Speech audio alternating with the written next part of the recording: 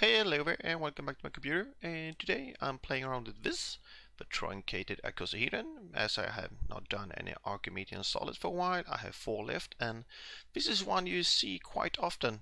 Yeah, first of all as a soccer ball of course, a football or soccer ball, what you call it, uh, because this is an easy way, it's hexagons and pentagon and uh, you can do these and make a quite close to sphere um, if you if you do it with soft materials and that's was the base of a soccer ball. So this is a truncated icosahedron. Here is the icosahedron, and truncated means you cut off the pointy parts, the vertices. And let's remove that one. And we are going to do this today. And I'm going to do, I think I'm going to talk about two different dimensions. The base dimension I will do is from pentagon to pentagon, flat side to flat side from pentagon, not the hexagon. I have not solved that, so we're going to do the pentagons and we're gonna start a new sketch. For you who are interested I will put a video somewhere with my uh, I do icosahedron I basically just start the same. We start with a polygon. Of course five sides. The pentagon.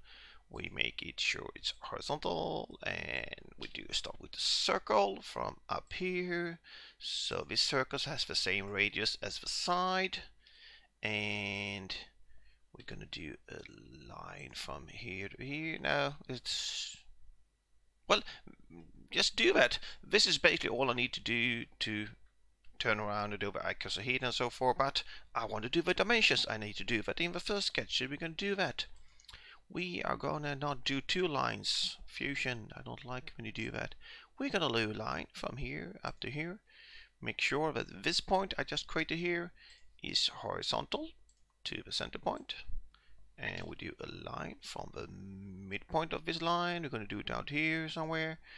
Make these two lines perpendicular. And then this point here horizontal to that. From that point to that point that's the half height of the normal icosahedron but now we're going to truncate it so we need to do a bit of a special thing. We need to divide this length into three parts. So we're going to do three lines we're going to choose all these three lines. At least we can do that. Uh, I want to do that. I want to just choose the lines. I need to zoom in a bit. Where are your lines? One two three lines and tell fusion to make them equal. Split them by three. And now we're going to dimension. From this point this is going to be the center point later.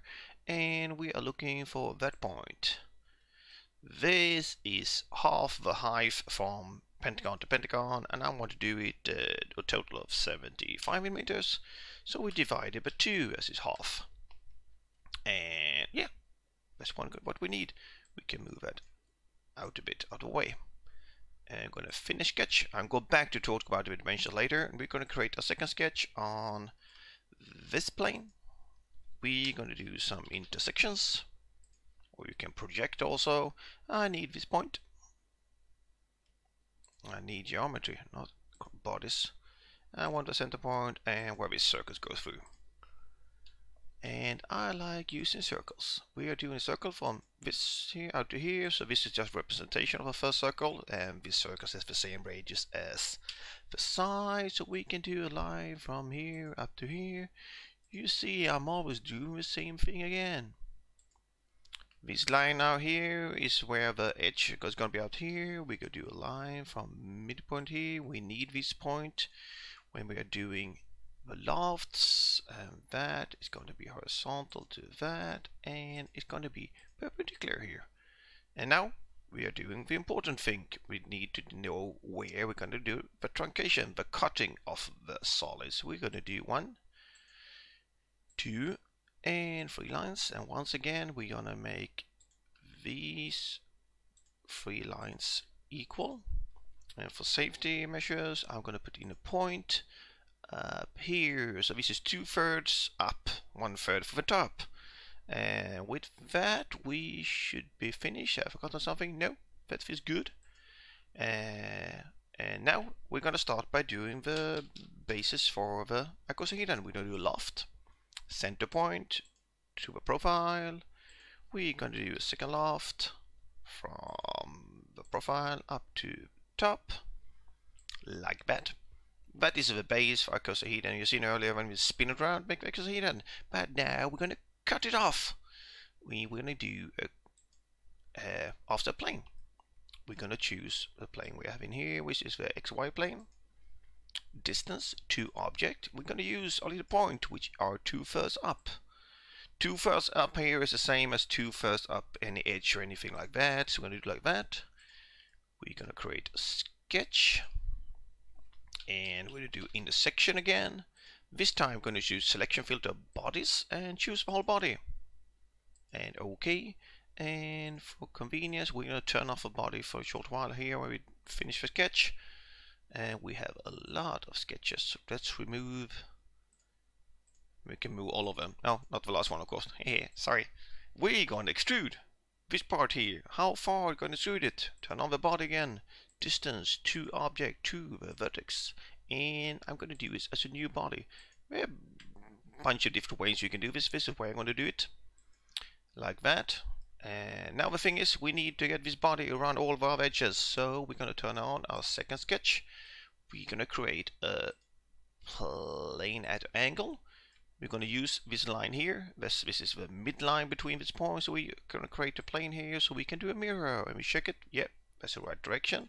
We're not moving it around. We are going to do a mirror. We're going to mirror bodies. Yes, this body. And the mirror plane is this plane we just created. And now I'm going to turn off that plane. So now we have it there. We're going to do a circular pattern because we needed to move around to over five points. We're going to take that one axle is anything through the center line here and we need five of that. And we're going to turn off the sketches again because they're a bit confusing. So now it looks really strange. Now we're going to do a combine. Uh, target body is of course center body and the tool bodies are all other bodies. We are going to do a cut like that. And now we're going to do basically the same thing we did when we did the I, did a icosahedron, we are going to do a circular pattern.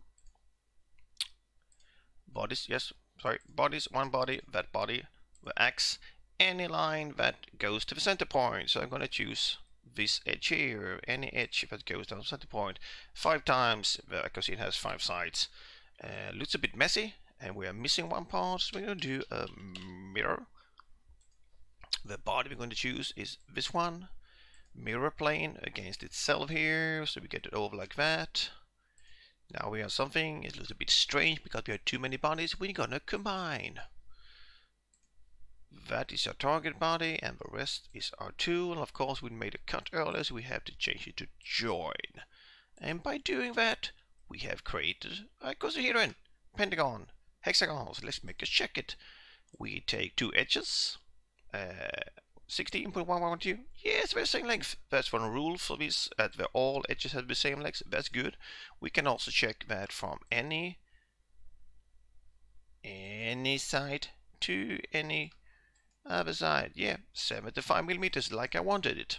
Uh, that's one way to dimension it, and for you for some reason want to dimension it by the length of the side here is quite easy too. Let's go back to our first sketch we are going to remove that dimension. And we're going to dimension one of the sides here. But uh, the thing is, uh, the side in the final body is one third of this. So if the final body is going to be, let's say, 23 millimeters, 23, we need to multiply it by 3. So it's going to 69. We're going to finish our sketch and we can check now. I want it to be 23 and the edge is 23 millimeters. So, of course, now you can do shell commands. Uh, let's see where no people normally do it. They do it here, like that, one millimeter. You can do shell like that, or you can do offset faces and play around with this for whatever reason you want to do. And I hope this is useful for you. And by that, take care and see you around.